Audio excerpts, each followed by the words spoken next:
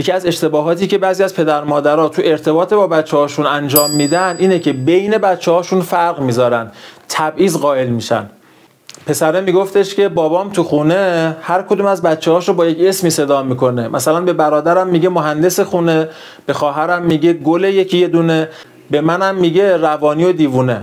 فرق گذاشتن بین بچه ها تبعیض قائل شدن بین بچه ها باعث میشه که سه تا اتفاق تلخ برای بچه هامون بیفته. یک بچه هامون دچار حسادت بشن. دو بچه ها کینه ای بشن. سه بچه هامون دچار عقده حقارت بشن.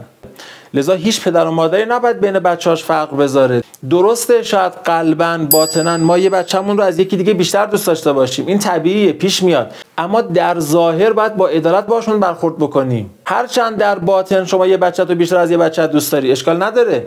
ولی تو جمع تو ظاهر باید بنابر مساوات و عدالت با بچت برخورد بکنیم طرف کنار پیامبر بود یه بچهشو بوسید یه بچهشو نبوسید. پیغمبر بهش فرمود چرا یه بچه تو بوس نکردی؟ عدالت رو بین بچه ها رعایت بکنید.